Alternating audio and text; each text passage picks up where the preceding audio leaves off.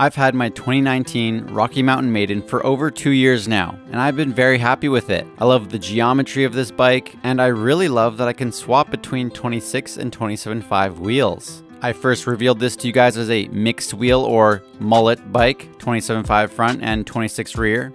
But for most of last year, I then made a 26 inch front wheel for it, and I really enjoyed that too.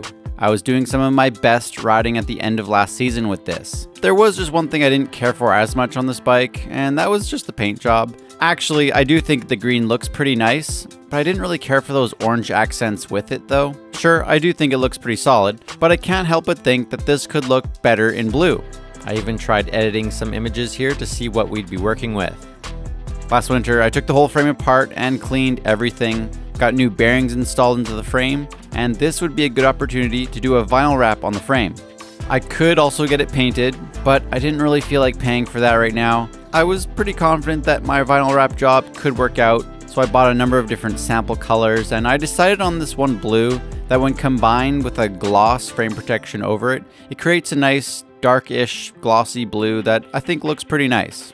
Here's the problem. Trying to wrap these rear triangle pieces was a total nightmare. So much cutting up different little chunks to try and fill every space. I've actually since decided I'm never going to vinyl wrap a bike frame ever again. I think I would just get it painted next time. I was taking so long to get this done because it just wasn't fun anymore.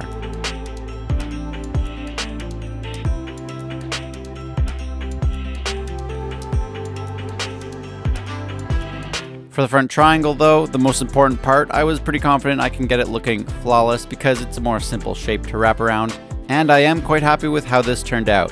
You will definitely see imperfections if you look close up on some areas, but honestly, you're probably never going to notice that in any of my videos.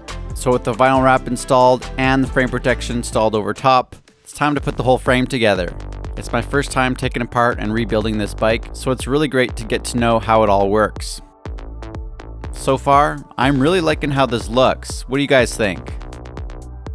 Time to rebuild the rest of the bike.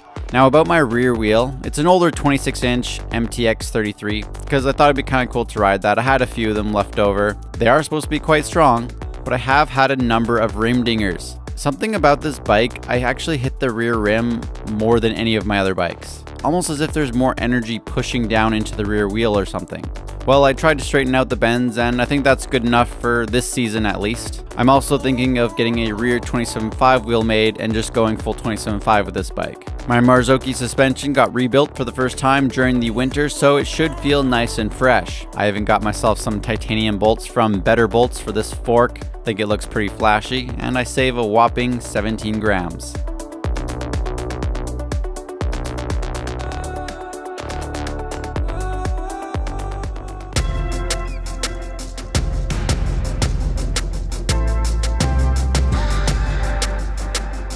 What do you think of my cockpit now? I love the way my Cash Money gold handlebars look with this frame. And this year, I'm putting back on that 27.5 front wheel since it will be better for the tech trails. The front wheel is exactly the same as I had in 2020 with the same Assegai tire, still barely anywhere on it, so it will be great for this year too. I put a new 2.5 Magic Mary on the rear. It is an older version, but I do think it'll be just fine as a rear tire. I'm trying some good old ODI Ruffian grips this time around. And I put an STFU system to keep the chain quiet. Otherwise, the build is basically the same as last year with my Shimano Saint drivetrain, Saint brakes. I like those a lot. After about 8 months off this bike, it's time to send. And I took it out to the Sun Peaks Bike Park for its first ride of the season. Sun Peaks has really been expanding. They opened a whole new lift this year for the bike park. First time riding my maiden, finally and this is a brand new trail called Stella Blue.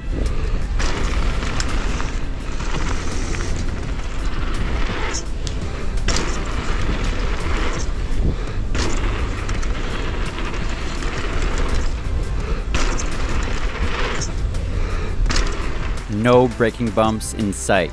Beautiful conditions. Blue flow trails aren't typically something I would ride a ton of, but the builders at Sun Peaks did a great job of this one.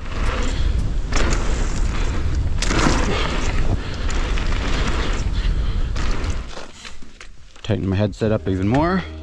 They got some more new Black Diamond Flow trails like Bad Habit and Super Nugget, which I thought was really awesome.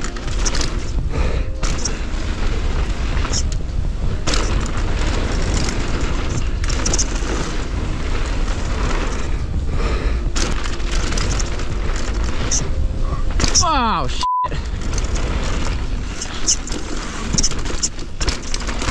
my bike feels like rattly. Like maybe it's the headset again. I don't know. Something's weird on it.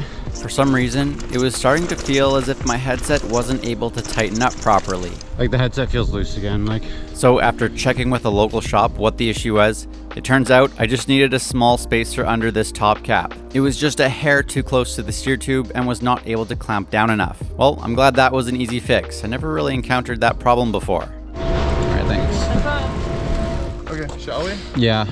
Okay, let's do it.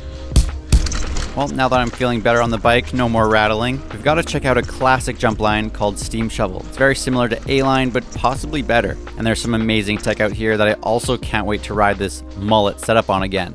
It's looking pretty much the same though, huh? So chill. Oh, yeah, very chill.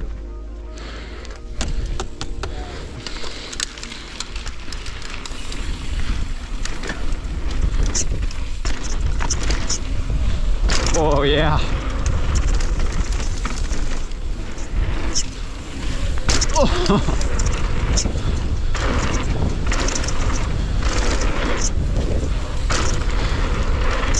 Oh, that's so sick.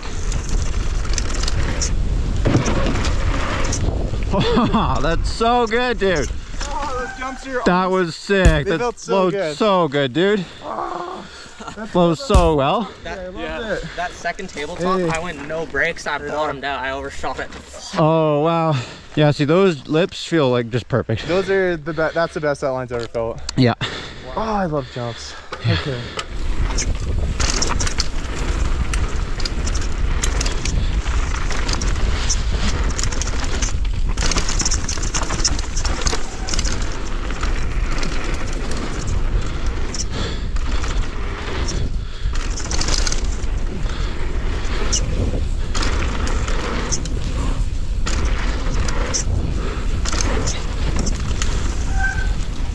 Oh yeah, this part's pretty good. Okay. Some of the jumps are I'm gonna follow Liam. The final jumps on this trail do take a bit of getting used to, remembering what the speed you need is. Some of these jumps are longer than you realize, and you really need a lot of speed. Alright, that one's pretty easy to clear. Whoa. Oh, okay. That was a little smack.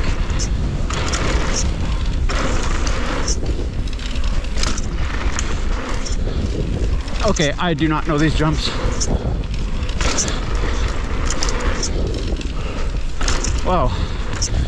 I gotta remember how these go. Yo.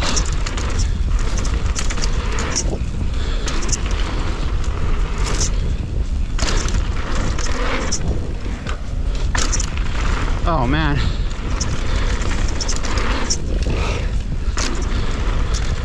Sick.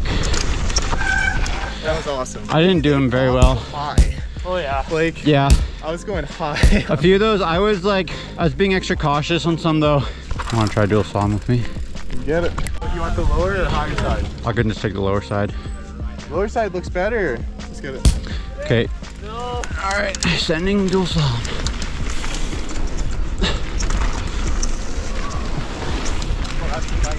Yeah. Woo. These corners are a bit loose and tight.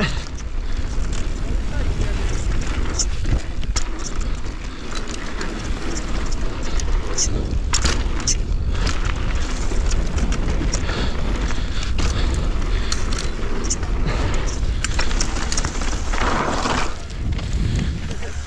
right. You won. I ended up going on your side. Oh, did you? Let's do some DH. I love this one. Yo. Wow.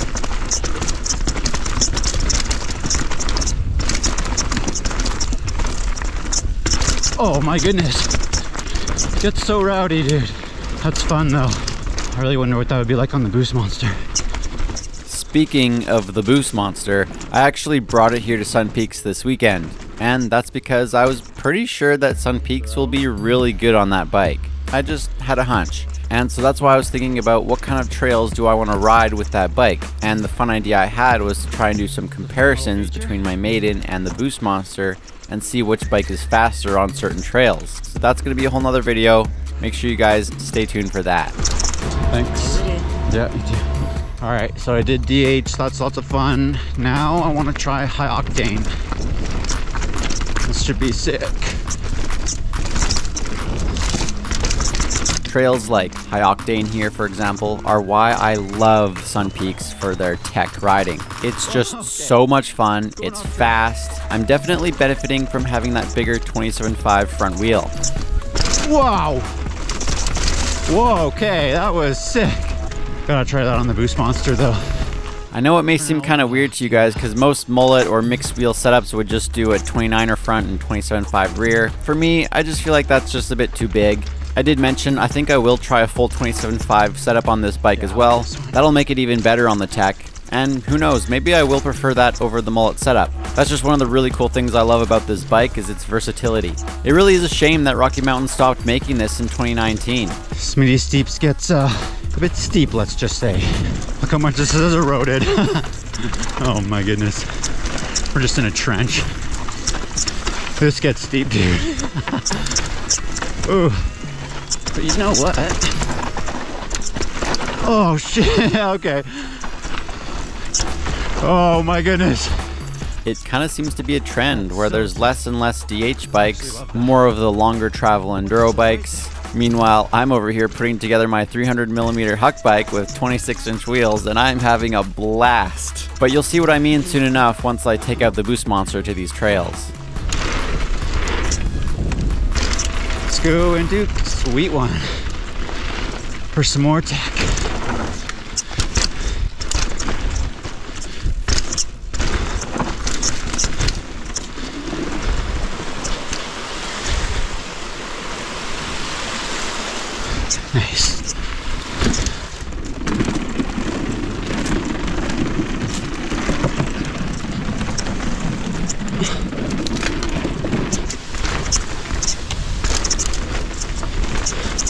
This part's sick.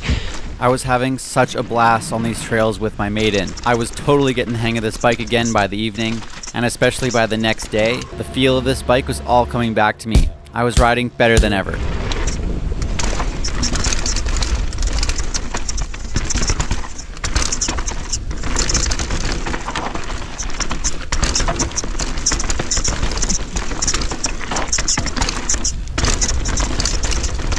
Sick. That's so sick. Oh, I love it. Freaking love it. I did it better that time with more confidence because I did it once yesterday. See how gnarly it can get.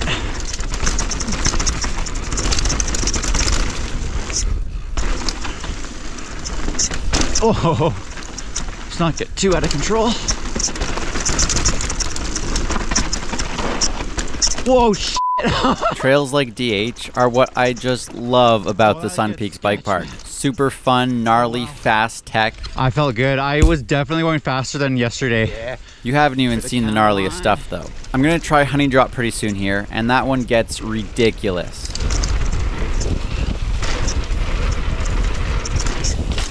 Right on.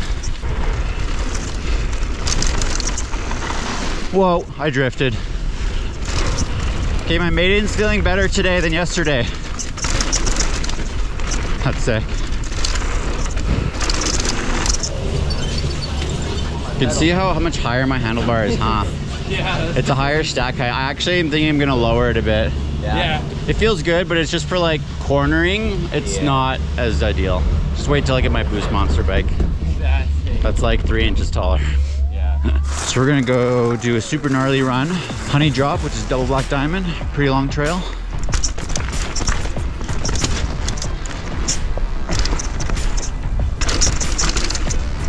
All right, see what are we going? Honey Drop is to the right. Let's do Honey Drop. Whoops.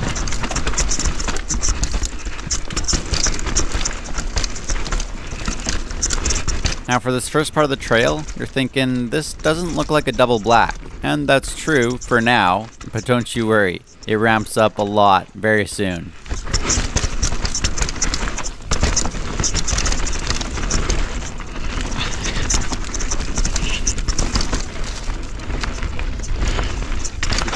Okay, this part was a bit sketch.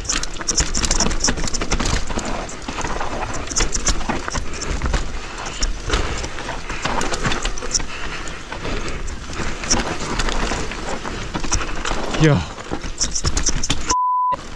Oh my freaking goodness. Yo, that was so insane. Oh, that was so insane. Yo. okay, that is sick. Yo. That part got insane. Oh, wow. Are you kidding me?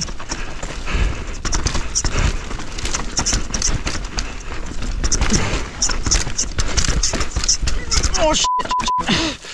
I remember that. That got crazy. I'm actually not sure that I'm as comfortable riding the Boost Monster on that because of how like, it, there's some tight corners though. That's cool.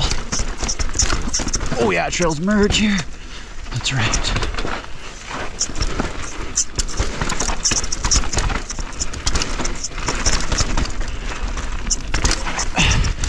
Yeah, this is more doable. Not as insane as that part back there. That's fun though, I like that. so good. Whoa. Yo. Oh, that part was good. Man, that's insane. It's just that middle section that was just ridiculous. Well, it did take a bit of breaking it again from the first day, but now I'm feeling so good on this bike. I can't wait to see what we can get up to on this bike this year. I know I built it up kind of late, but we do got time to ride it on more amazing trails. Now that I have a few hours left in the day, I hope you don't mind, I'm going to take out the Boost Monster now, because I really believe Sun Peaks will be great on this bike. And what I'm going to do is I'm going to ride some of the same trails I just rode with my Maiden here, and we're going to do some comparisons and see which bike is faster. What do you guys think is going to be better on these tech trails out here? The Maiden or my Franken bike Boost Monster with 300 millimeters of suspension? Let me know in the comments. Well, hey, the bike was feeling awesome. I think that bigger front wheel was helping me keep more speed on some of those fast, techy sections. What do you guys think of these mixed wheel setups? Do you prefer it, or do you like having the same wheel size front and rear? Let me know in the comments below. If you want to see a sweet video of me riding my Maiden when it was still in the full 26 inch setup, check out this video of me riding Whistler with it last year.